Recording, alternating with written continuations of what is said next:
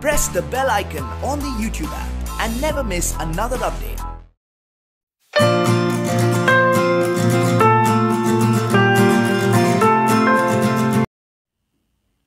Hello, welcome to Finish Educare. Welcome to the ninth chapter of 8th Maharashtra Board History. Name of the chapter is Last Phase of Struggle for Independence. So, in this chapter, we will be studying uh, studying the history of India after 1940. So, in previous chapters, we have studied about non-cooperation movement. Then we have studied about civil disobedience movement. So, we have seen how Indians were how Indians were collectively fighting against the Britishers. So, in this chapter, we will talk about the last phase of our freedom struggle. So, from 1940s till 1947 uh, till uh, the date when we got independence. So, uh, in this six to seven years, we will study the history of India, how Indians came together, and how they fought against the Britishers. So, we will talk about this in this chapter. Basically, we will talk about Quit India movement, then underground movement, and contribution of Indian National Army. ये तीन जो main main जो quit India movement जो main event हुआ था India में जब भी सब लोग इकट्ठा आए थे और सब लोगों ने मिल के फाइट किया था ब्रिटिशर्स से उस इवेंट के बारे में बात करेंगे उस मूवमेंट के बारे में बात करेंगे। Then in some places in India there were many freedom fighters हुआ स्ट्रगलिंग हुआ फाइटिंग अगेंस्ट ब्रिटिशर्स वो अंडरग्राउंड होकर काम करते थे। अंडरग्राउंड मतलब छुप के काम करते थे। तो उनके बारे में हम बात करेंगे।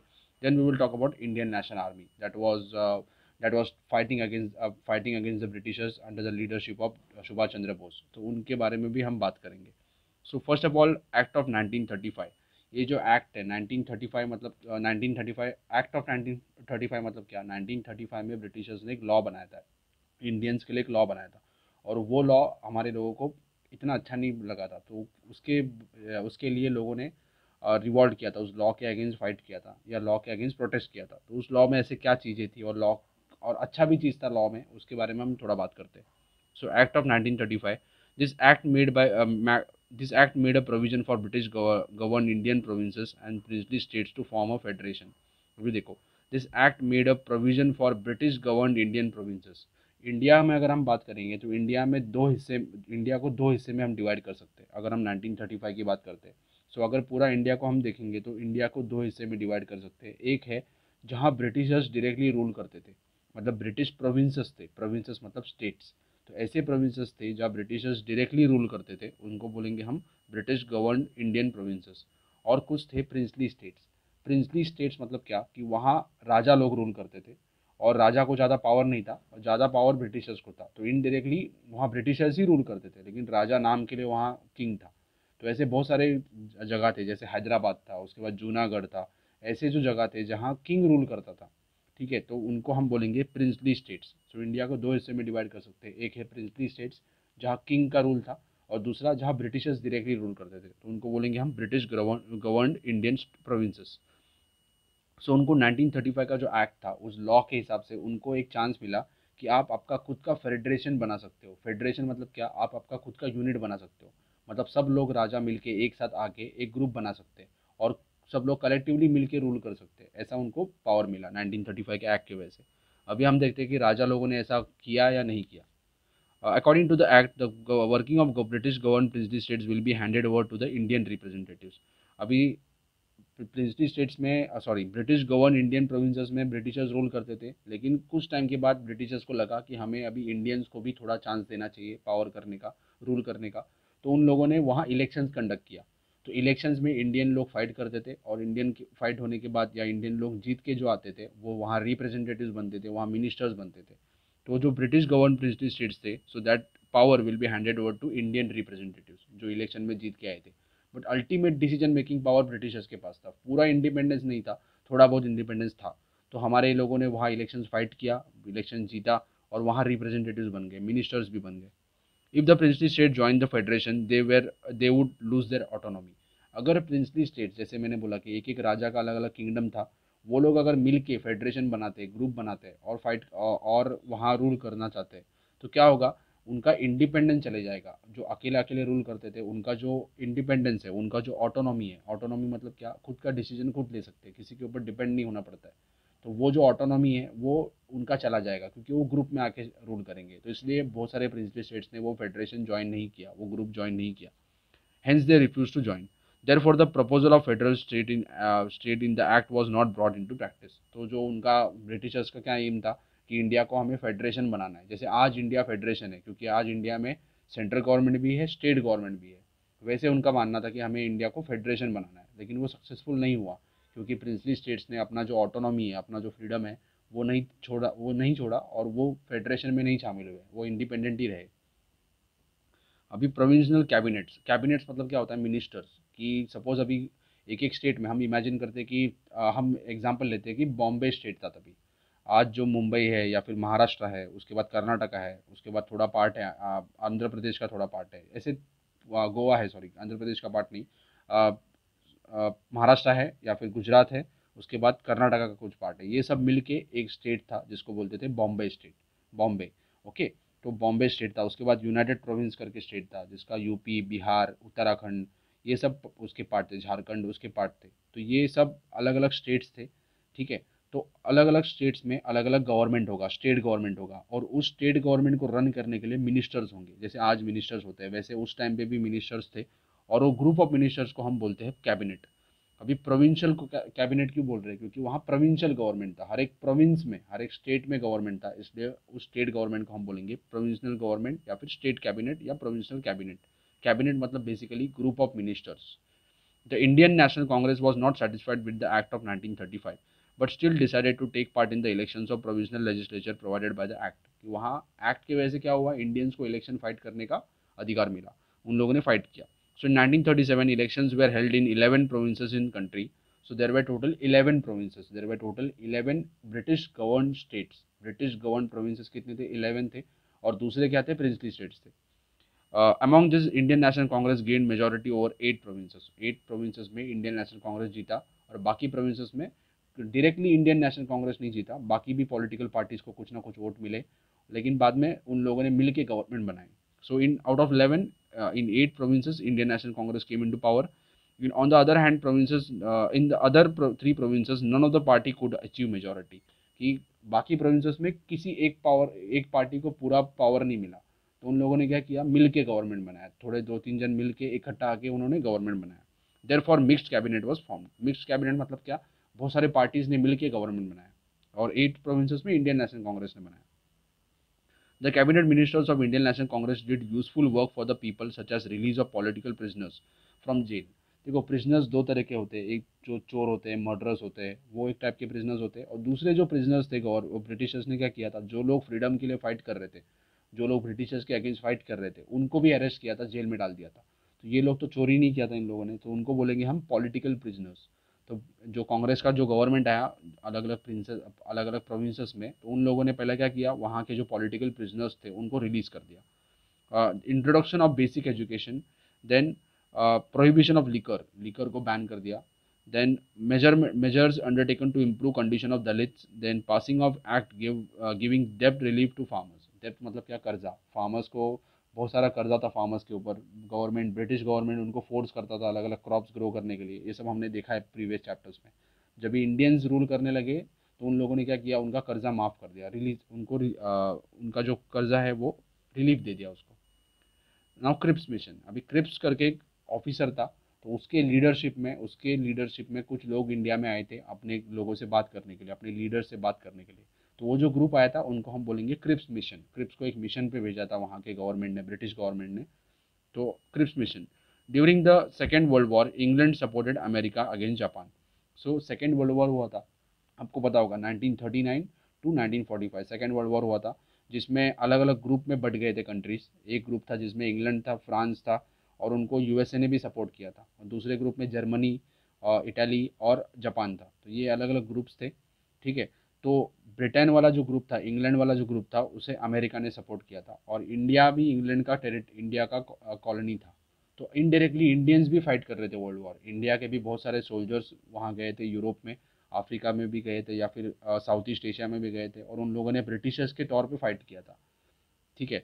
तो ब्रिटिशर्स को पता था कि अगर हमें वॉर जीतना है तो हमें इंडियंस का सपोर्ट चाहिए। इंडिया जो कॉलोनी है उनका सपोर्ट चाहिए। वहाँ से रॉ मटेरियल्स उनको मिलना चाहिए। या फिर ये वहाँ से उनको सोल्जर्स का भी ज़रूरत है तो उन लोगों ने अपने यहाँ, अपने कंट्री में लोगों को भेजा क्रिप्स मिशन भेजा और उन लोगों से बात हुआ कि सेटलमेंट हुआ कि अगर हम हम, हमें आपकी हेल्प चाहिए, लेकिन हम हेल्प के बदले आपको कुछ फ्रीडम भी दे देंगे या कुछ आपको राइट्स भी दे देंगे। तो देखते क्या हुआ। During the second world war England supported America against Japan the Japanese army reach eastern borders of India तो मैंने जैसे बताया कि दो ग्रुप में था, एक था इंग्लैंड फ्रांस और अमेरिका भी उसका अमेरिका भी था उसके साथ, और दूसरे ग्रुप में थे। इंग्लैंड फ्रांस और रशिया था एक ग्रुप में, और उसको सपोर्ट किया था अमेरिका ने। और दूसरा ग्रुप था जिसमें थे जर्मनी उसके बाद इटली और जापान तो जापान इंग्लैंड का दुश्मन हुआ, और इंग्लैंड इंग्लैंड का टेरिटरी था इंडिया मतलब इंडिया में इंग्लैंड का रूल था। तो जापान ने क्या किया? इंडिया का जो ईस्टर्न साइड है, जहाँ से वो नॉर्थ ईस्ट के स्टेट्स थे, ठीक है? वहाँ से अटैक करना चालू कर दिया इंडिया के ऊपर। और उनको सुभाष चंद्र बोस, उनका भी साथ मिला। ये बाद में हम देखेंगे। इंडियन नेशनल आर्मी के बारे में बात करेंगे, तभी देखेंगे।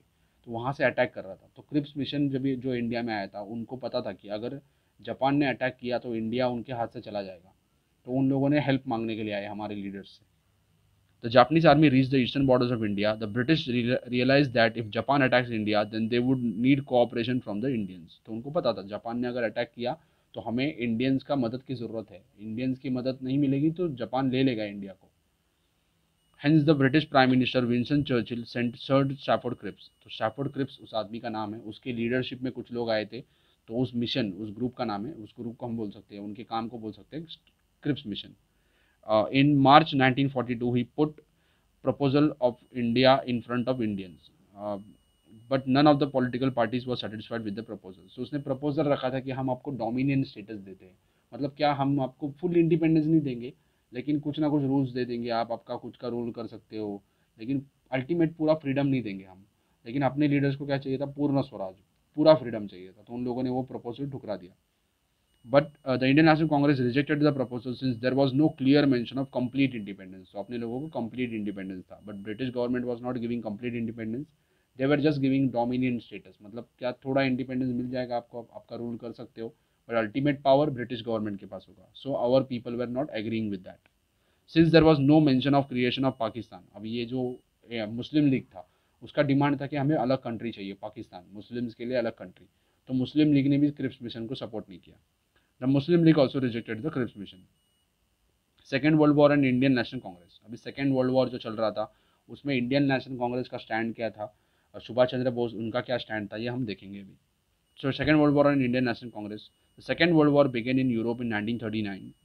The, the then Viceroy Lord Linlithgow declared that India had joined the war on the sides of British. तो जैसे मैंने बताया कि ब्रिटिश का रूल था ब्रिटेन का रूल था इंडिया में तो वहाँ का जो सबसे टॉप मोस्ट लीडर था ब्रिटेन का ब्रिटिश का सबसे जो टॉप मोस्ट लीडर था उसके हम उससे हम बोलते थे वॉइस रॉय तो वो टाइम का वॉइस रॉय था लॉर्ड लिन लिथित को उसने क्या बोला कि हम ब्रिटेन के तौर हम इंडिया भी ब्रिटेन को सपोर्ट करेंगे। हमसे पूछा नहीं कुछ नहीं उसने डिक्लेयर कर दिया। सो so, ठीक है तो England claim that it was fighting to save democracy in Europe जैसे ये जो कंट्रीज़ थे जैसे मैंने बताया कि इंग्लैंड के दुश्मन थे जापान जापान था उसके बाद इटली था और रशिया सॉरी और जर्मनी था। ये जर्मनी इटली और जर्मनी और इटली में डिक्टेटर्स रूल करते थे हुकुम शाह रूल करते थे। आपको पता होगा एडॉफ हिटलर पता होगा। जो जर्मनी में रूल करता था, उसके बाद इटली में रूल करता था मुसलिनी। मुसलिनी और एडोफ हिटलर, ये दोनों डिक्टेटर्स थे, ये डेमोक्रेसी के अगेंस्ट थे। तो ब्रिटेन का मानना था कि हम क्या कर रहे हैं डेमोक्रेसी के लिए फाइट कर रहे हैं। इसलिए हम जर्मनी और इटली के अगेंस्ट और रशिया और सॉरी जापान के अगेंस्ट फाइट कर रहे हैं। तो वो वो बोल रहे थे कि इंडियंस ने भी उनको सपोर्ट करना चाहिए। इनिशियल स्टेज में कांग्रेस ने उनको सपोर्ट किया इंडियन नेशनल कांग्रेस ने उनको सपोर्ट किया। तो Indian National Congress demanded that if the claim was true then England should immediately grant freedom to India अभी ब्रिटेन क्या बोल रहा था कि हम क्या कर रहे हैं? डेमोक्रेसी के लिए फाइट कर रहे हैं। तो हमारे लोगों ने बोला कि कांग्रेस के लोगों ने बोला, चलो, ऐसे बोल रहे हो ना कि आप डेमोक्रेसी के लिए फाइट कर रहे हो तो हमें फ्रीडम दे दो, हमें डेमोक्रेसी दे दो. बट इंग्लैंड ने वो एक्सेप्ट नहीं किया। Refuse to fulfil the demand and therefore the provisional ministers of Indian National Congress resigned in November 1939 तो जो प्रोविजनल गवर्नमेंट बना था, उसमें हमारे लोगों ने रिजाइन कर दिया। नाउ क्विट इंडिया मूवमेंट 1942 को ये मूवमेंट स्टार्ट हुआ था। क्विट इंडिया मूवमेंट मतलब क्या? भारत छोड़ो आंदोलन। अपने लोगों ने अल्टीमेटम दे दिया गवर्नमेंट को ब्रिटिश गवर्नमेंट को कि आप क्विट कर दो इंडिया को, यहाँ से चले जाओ। After the Cripps mission the Indian National Congress decided to start an intense movement for attending independence the working committee of the Congress passed a resolution on fourteen July 1942 at Wardha Wardha is in Maharashtra तो वहाँ resolution pass हुआ कि हमें पूरा independence चाहिए complete independence चाहिए और quit India movement और the resolution demanded that British rule in India should India be ended immediately and India should be given independence if this demand was not fulfilled then Indian National Congress want to start a non violent movement for freedom in India so non violent movement वापस क्योंकि ये Indian national Congress का movement था और Gandhi ji lead कर रहे थे। तो उन्होंने बोला कि हम अल्टीमेटम देते हैं कि आप हमारा डिमांड फुलफिल करो, नहीं करोगे तो हम नॉन कोऑपरेशन मूवमेंट या नॉन वायलेंट मूवमेंट स्टार्ट करेंगे। ठीक है? तो क्विट इंडिया रिजोल्यूशन अब ये गांधी जी ने बोल दिया या किसी लीडर ने बोल दिया तो वहाँ मूवमेंट स्टार्ट नहीं होता था कांग्रेस में। आज जो पॉलिटिकल पार्टीज़ है इंडिया में बीजेपी हो या कांग्रेस हो या कोई भी पॉलिटिकल पार्टी हो, शिवसेना हो, महाराष्ट्र में, ये लोग डेमोक्रेसी सिर्फ़ नाम कर, नाम के लिए डेमोक्रेसी फॉलो करते हैं। बट इनिशियली उनके जो टॉप मोस्ट लीडर्स होते हैं, वही डिसीज़न लेते हैं। पहले ऐसे नहीं था। कांग्रेस में किसी भी लीडर ने अगर बोल दिया कोई भी रिजोल्यूशन पास करने के लिए बोला तो उसके लिए वोटिंग होता था। वोटिंग होने के बाद जो मेंबर्स थे वो डिसाइड करते थे कि वो रिजोल्यूशन पास करना है या नहीं करना है। तो वैसे ही वोटिंग हुआ और वोटिंग होने के बाद डिसाइड हुआ कि हम अभी क्विट इंडिया मूवमेंट स्टार्ट करेंगे। On 7th August 1942, the session of Indian National Congress was held at Gwalior Tank. So जैसे मैंने पहले भी चैप्टर्स में बताया था कि कांग्रेस का साल में कहीं ना कहीं सेशन होता था जहाँ सभी मेंबर्स मिलते थे वहाँ डिस्कशन होता था रिजोल्यूशन होते थे पास होते थे या फेल होते थे जो भी होता था तो वहाँ डिस्कशन होता था। वैसे ही एक 1942 में रिजोल सेशन हुआ था मुंबई में। सो so, क्रांति मैदान और Gwalior tank in Mumbai. Maulana Abdul Kalam Azad Maulana Abul Kalam Azad was the president of this session तो वहाँ उस सेशन के प्रेसिडेंट थे Maulana Abdul Kalam Azad. The British should leave India this resolution pass by Congress working committee at Wardha was to be finally approved by Mumbai session तो जो working committee मतलब क्या होता है कुछ टॉप मोस्ट लीडर्स होते हैं जिन्होंने वर्धा में डिसाइड किया था कि ही अभी हम ब्रिटिशर्स के अगेंस्ट एक मूवमेंट स्टार्ट करेंगे नॉन वायलेंट मूवमेंट स्टार्ट करेंगे. अभी वो वर्किंग कमेटी ने बोल दिया टॉप लीडर्स ने बोल दिया मतलब हो गया ऐसे नहीं. तो जब भी मुंबई में सेशन हुआ तो जब भी बाकी में मेंबर्स आए तभी उन लोगों ने वो रिजोल्यूशन उनके सामने रखा. बाकी मेंबर्स ने वोटिंग किया और उस रिजोल्यूशन को पास कर दिया. सो so, on on 8th August, the resolution of Quit India movement put uh, forth by Jawaharlal Nehru got passed with great majority. जैसे मैंने बोला कि जवाहरलाल नेहरू उन्होंने वो रिजोल्यूशन लोगों के सामने रखा जो कांग्रेस के लोग थे उनके सामने रखा उन लोगों ने वोटिंग किया और डिसाइड किया कि चलो हम रिजोल्यूशन पास कर देते और हम ही हम अब से क्विट इंडिया मूवमेंट स्टार्ट कर देंगे it was also decided to start a nation wide non violent agitation against the leadership of Gandhi, uh, agitation under the leadership of Mahatma Gandhi. Uh, Gandhiji said, every one of you should, uh, from this moment onwards, consider yourself a free man or woman and behave like a citizen of free India. तो उन्होंने क्या बोला कि हम आपसे decide करेंगे कि हम अभी फ्री है। कोई गवर्नमेंट का रूल फॉलो नहीं करेंगे। उसके बाद गवर्नमेंट को मानेंगे नहीं। हम फ्री है। वैसे ही हम बिहेव करेंगे। वैसे ही हम रहेंगे। We shall either free India or die in an attempt तो गांधी जी ने बोला था कि करो या मरो डू और डाई कि ये लास्ट सिचुएशन है लास्ट अटैम्प्ट है। हम अभी फ्रीडम छीन के ले लेंगे। डू या die do or die we shall either free India or die in in the attempt Gandhi ji made an inspiration appeal to the people to be ready to sacrifice their feelings of do do or die beginning of popular movement sorry beginning of people's movement the new uh, the news of arrest of important leaders of national congress spread out all over the country. अब ये freedom movement declare कर दिया मतलब government क्या देखते नहीं रहेगा। Government ने क्या किया जो टॉप टॉप लीडर्स थे सबको अरेस्ट कर लिया तो लीडरशिप ही नहीं रहा। तो लोगों ने ही फाइट किया लोगों ने ही सड़क पे आके लोगों ने ही रास्ते पे आके फाइट किया। तो टॉप लीडर्स को तो गवर्नमेंट ने अरेस्ट कर लिया ब्रिटिश गवर्नमेंट ने अरेस्ट कर लिया तो बाकी जो लोग थे छोटे मोटे लीडर्स थे उन लोगों ने आके लीड किया और लोगों का मूवमेंट बन गया वो। So the angry mob took a procession at various places even though police lathi charge and open fire on public but still people were not afraid the agitators attack some places like jails police stations, railway stations, etc. which symbolise symbolise the suppressive policy of British कि British क्या कर रहा था? Railway station या फिर uh, जो gels थे जहाँ प्रिजनर्स को रखा था वहाँ लोगों ने अटैक किया। रेलवे स्टेशन की जो कुछ कुछ जगह पे रेलवे लाइंस थे उसको डिस्ट्रॉय कर दिया ताकि ब्रिटिशर्स के जो ट्रूप्स थे आर्मी है वो नहीं मूव कर सके। उसके बाद उनका जो टेलीफोन का नेटवर्क था या फिर जो टेलीग्राम का नेटवर्क था कम्युनिकेशन नेटवर्क था वो उसको डिस्ट्रॉय कर दिया ताकि गवर्नमेंट एक दूसरे से कॉन्टैक्ट नहीं कर सके।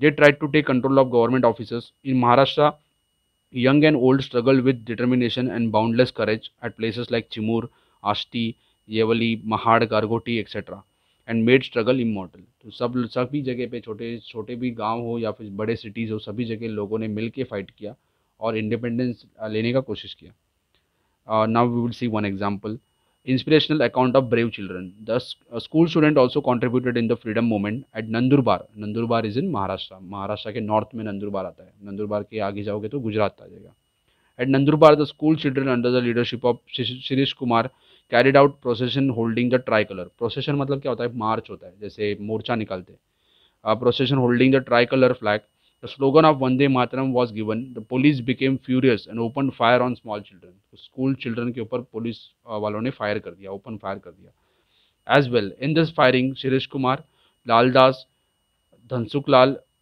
Shishirdhar Ghanshyam this school children became martyr कि उनका डेथ हो गया उसमें, वो शहीद हो गए। अंडरग्राउंड मूवमेंट अभी गवर्नमेंट ने क्या कर दिया था? बड़े बड़े और लीडर्स को तो अरेस्ट कर लिया था। तो जो छोटे लीडर्स थे, वो टाइप में जब यंग थे उन लोगों ने अपने आप को अंडरग्राउंड कर लिया। वो छुप के फाइट कर रहे थे, छुप के लड़ रहे थे। तो वैसे ही एग्ज़ाम्पल है, कुछ लोगों का एग्ज़ाम्पल दिया हुआ है। One famous person is Jayaprakash Narayan जब भी वो यंग थे, ये जो फ़ोटो दिख रहा है, ये बाद का बाद में उनका फ़ोटो बाद का फ़ोटो है, तभी वो यंग थे। उसके बाद राम मनोहर लोहिया ऐसे बहुत सारे लीडर्स थे। उन लोगों ने अंडरग्राउंड मूवमेंट अंडरग्राउंड छुप के गवर्नमेंट के अगेंस्ट कंटिन्यूस रखा freedom At the end of 1942, the public uh, movement uh, got a new turn. The leadership of the movement went into hands of young socialist activists like Jayaprakash Narayan, Dr. Ram Manohar Lohia, Chotu Bhai Puranik, Achyutarao Patwardhan, Aruna Asaf Ali, Yusuf Meher Ali, Suchitra Kriplani, S.M. Joshi, Shirubhai Limye, N.G. Gore, Yashwantrao Chavan, Vasantdada Patil, Maganlal Bagdi, Usha Mehta and such leaders were in forefront ये सब young leaders थे। जैसे मैंने बताया कि जो बड़े बड़े लीडर्स थे, पंडित जवाहरलाल नेहरू, मौलाना आज़ाद या फिर सरदार पटेल, महात्मा गांधी, सबको अरेस्ट कर लिया था। तो जो यंग लीडर्स थे, उन लोगों ने कंटिन्यूस रखा fight the activist distribute sorry disturb the transport and communication as well as the government machinery by causing breakdown of railway routes cutting telephone lines blowing up bridges etcetera अब ये क्यों कर रहे थे? ताकि जो गवर्नमेंट का जो मैसेजेस है, जैसे सपोज़ मुंबई में कुछ ज़्यादा मूवमेंट चल रहा है, ज़्यादा फाइट चल रहा है तो मुंबई से जो ऑफिसर्स थे वो क्या करेंगे? आसपास की जगहों से हेल्प मांगेंगे। वहाँ से पुलिस को बुलाएँगे यहाँ। तो टेलीफोन ही नहीं होगा तो क्या होगा? उनका जो हेल्प मांगने के लिए वो मैसेज भेजेंगे, उसके लिए टाइम लगेगा। या फिर रेलवे का अगर मैंने ट्रैक ही तोड़ दिया तो रेलवे से लोग आ नहीं सकेंगे, या ब्रिजेस तोड़ दिया तो रोड से आ नहीं सकेंगे। तो इसके वजह से अपने जो लीडर्स थे, अपने जो लोग थे, वो रेलवे लाइन को डिस्ट्रॉय कर देते थे। या फिर ब्रिजेस गिरा देते थे, या फिर रास्ता बंद कर देते थे, या फिर टेलीफोन लाइंस को कट कर देते थे, ताकि कम्युनिकेशन ना हो सके, ताकि ट्रांसपोर्टेशन ना हो सके। तो गवर्नमेंट का जो काम है उसको डिस्टर्ब कर देते थे। तो break down of railway routes cutting down telephone lines blowing bridges etcetera the impact of the movement was seen all over India Hemu Kalani in Sindh province Sindh is sorry Sindh आज पाकिस्तान में है. Currently it is in Pakistan तो Sindh province में हेमुक कलानी, इन्होंने fight किया था। So people started accepting the verdict pass by sorry Hemu Kalani try to destroy the railway along with his companions where he receive the news of passing of railway carrying British troops तो उनको खबर मिली कि government railway से army के soldiers आने वाले हैं। तो वो, उन्होंने क्या किया, वहाँ का जो रेलवे लाइन था, उसको डिस्ट्रॉय करने का कोशिश किया, ताकि उनका एक्सीडेंट हो जाए। लेकिन गवर्नमेंट ने उनको अरेस्ट किया और उनको फांसी दे दिया। So the court punished him to be hanged to death. भाई कोटवाल्स आज़ाद दस्ता इन करजत ये उनके ग्रुप का नाम है। उनके जो फ्रेंड्स थे उन्होंने मिल के जो ग्रुप बनाया था जो फाइट कर रहा था ब्रिटिशर्स के ब्रिटिशर्स के अगेंस्ट उनका नाम है। सो so, भाई Kotwal's Azad Dasta in Karjat Karjat is currently in Raigad. So taluka of modern day Raigad district Raigad Mumbai के पास में ही है Karjat. Then general Awari's Lal Sena in Nagpur such troops made the government helpless and witless for months ये हम underground movement की बात कर रहे हैं। ये छुप के फाइट करते थे। In Mumbai Vithal Jhaveri Usha Mehta and her companions establish a secret transmission centre name Azad radio जैसे ब्रिटिशर्स का रेडियो था, वैसे इंडियंस ने छुप के अपने रेडियो के नेटवर्क्स बनाए, ताकि वो मैसेजेस पास कर सके, लोगों को इनक्रेज कर सके। तो वैसा ही एक एग्जांपल है Azad radio that was started by Vithal Jhaveri and Usha Mehta patriotic songs were sung on it news of agitation in the country were broadcasted on it तो ये क्या करते थे? खबर देते थे लोगों को यहाँ लोगों ने मिलकर फाइट किया, करना चालू कर दिया ब्रिटिशर्स के अगेंस्ट ताकि दूसरे लोग भी उससे इंस्पायर हो सके और वो भी कंटिन्यू करे fight patriotic speeches were telecasted this give encouragement to the agitators such transmission centres operated in Kolkata Delhi Pune for some period of time establishment of parallel government parallel government मतलब क्या? कि government एक तो है Britishers का।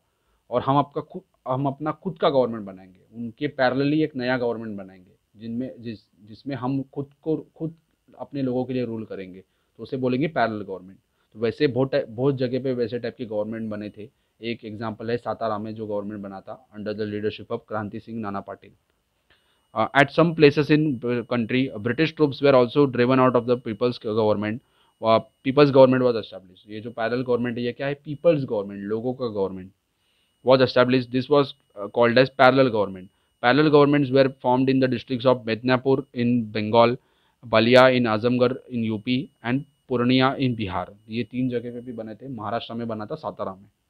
In Satara district of Maharashtra in 1942 Kranti Singh Nana Patil brought an end to British government and establish a parallel government at Kundal under the leadership of Krantiagrani ji D L S Bapu Lad Toofan Sena was establish through this through this medium collected tax तो ये क्या करते थे sir government चलाने के लिए tax collect करना पड़ेगा, पैसा चाहिए तो लोगों से टैक्स कलेक्ट करते थे। Maintenance of law and order उनका खुद का पुलिस था जो मेंटेन करता था लॉ एंड ऑर्डर को। Punishment of criminals such work was done by parallel government. People started accepting the verdict passed by the people's court, appointed by the parallel government. तो British court में जाना लोगों ने बंद कर दिया। पैरेलल गवर्नमेंट ने जो खुद का कोड बनाया था खुद का पुलिस बनाया था खुद का टैक्स कलेक्ट करने का जो सिस्टम बनाया था वो लोगों ने एक्सेप्ट किया। क्योंकि लोगों को लगा कि ये हमारा गवर्नमेंट है लोगों का गवर्नमेंट है पीपल्स गवर्नमेंट है। और ये सब जो लीडर्स थे ये करप्ट नहीं थे लोगों को उनके ऊपर विश्वास था। सो so, uh, हाँ तो verdict pass by the people's court appointed by the parallel government opposition to money money lenders तो मनी लेंडर्स जो बड़े बड़े साहूकार थे जो पैसा लेंड करते थे बाद में लोगों का लैंड ले लेते थे तो उनको अपोज करता था parallel government prohibition of liquor liquor के से बहुत सारे प्रॉब्लम्स होते हैं। लिकर मतलब क्या? शराब।